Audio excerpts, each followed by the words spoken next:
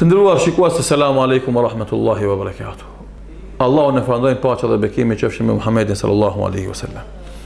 Shpesh e rastisim një fjalë që njerëzit me një mendjemadhësi të madhe e ballafaqojnë fenomenin e vdekjes dhe thonë nuk brengosem shumë dhe mërzitem për vdekjen. Pse? Se ku shkojnë të gjithë atje edhe unë. Kjo fjalë ku shkojnë të gjithë atje edhe unë nuk është e vërtetë, nuk është e saktë. Të gjithë do të vdesim, të gjithë do të futemi në varr, mirëpo jo të gjithë do ta kemi përjetimin e njëjtë në varr. Edhe jo të gjithë, të gjithë na do të ringjallemi pastaj, Dhe jo të gjithë na do ta kemi përjetimin e njëjtë pas ringjalljes. Sepse Allahu në Kur'an shumë bukur e tregon këtë. Kullu nafsin dha'ikatul maut. Çdo njeri ka për ta shijuar vdekjen. Pastaj thotë, "Fa man zuhziha 'anil nari wa udkhilal jannata faqad faz." Ai që shpëton nga zjarri i xhehenemit dhe futet në xhenet ka fituar. Do thotë, pas vdekjes do të ndahen njerëzit. Dikush do të shkon për në xhenet, për në parajsë, e dikush do të shkon për në xhehenem për në ferr. Andaj Allahu këtë gjithashtu e tregon, thotë ferikun fil jannati wa ferikun fi sa'ir. Një grup do të shkon për në xhenet në parajsë dhe një grup do të niset për në ferr në xhehenem, aty ku zjarrmi i skuqur i pret mëkatarët mendjemëdhenjt dhe jobesimtarët. Dhe për këtë shkak nuk është e njëjtë.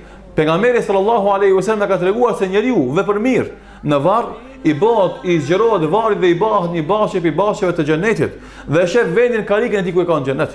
Dhe të keqit jobesimtarit i ngushtohet varri saqë i futen brinjët në njëra-tjetrën dhe i bëhet një gropë prej gropave të xhehenemit dhe e shef vendin e keq ku e ka në xhehenem.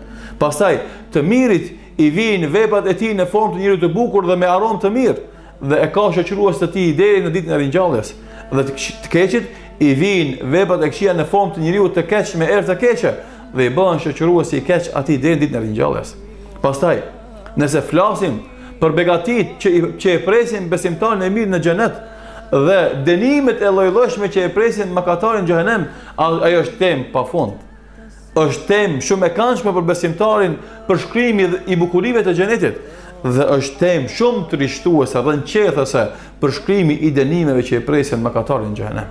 Mirëpo, unë do të mjaftohem me dy porosi të Pejgamberit sallallahu aleyhi wasallam. E para, thotë Muhammedi sallallahu aleyhi wasallam se Allahu ka thonë, a'dedtu li ibadije salihine ma la ajnun re'et.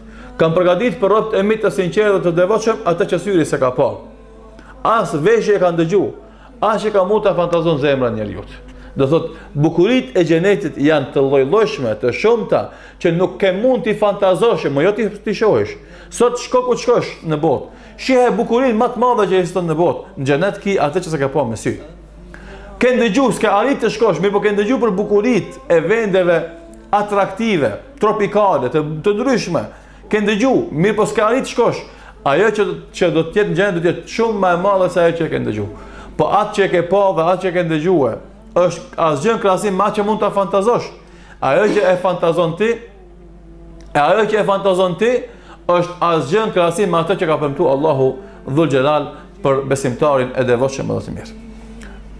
Në anën tjetër, pejgamberi sallallahu alaihi wasallam e përshkruan rastin e një njeriu të mirë të devotshëm dhe njeriut mëkatar dhe jobesimtar.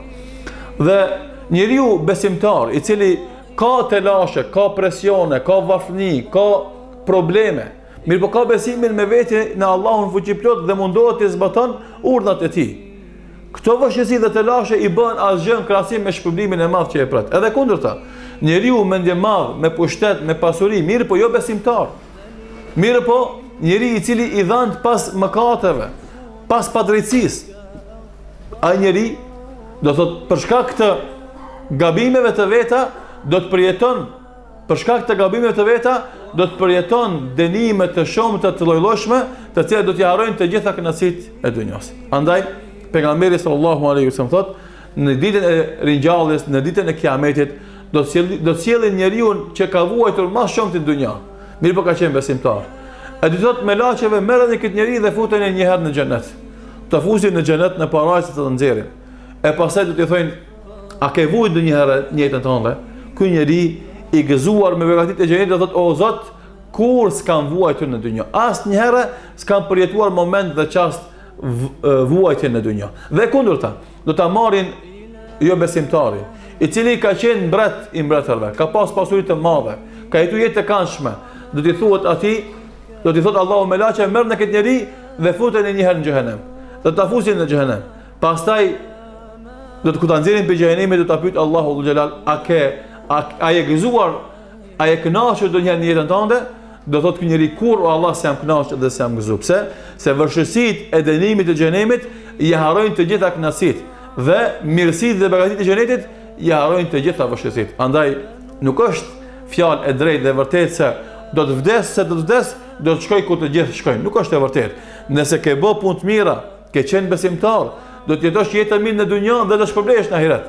Nëse ke qenë jo besimtar, ke qenë i padrejtë, zullumqar, abuzues, dhunues, atëherë normalisht do të vuash në dynja, por gjithashtu do të vuash edhe në ahiret. Andaj vërë gishtin në kokë, ndalu dhe mendo, largohu prej veprave të këqija dhe pajisu dhe pasurohu me vlera dhe vepra të mira. Zoti na bëftë Të gjithëve që kujdesen për të mira dhe largohen prej të këqijave, që kujdesen për jetë të kandshme edhe pas vdekjes, jo vetëm në dynja, Zoti na dhashtë mirësi dhe na dhashtë bekimet dhe mëshirën e Tij në dynja dhe në ahiret. Zoti ju shpërbleftë. Veselamu alejkum wa rahmetullahi wa barakatuh.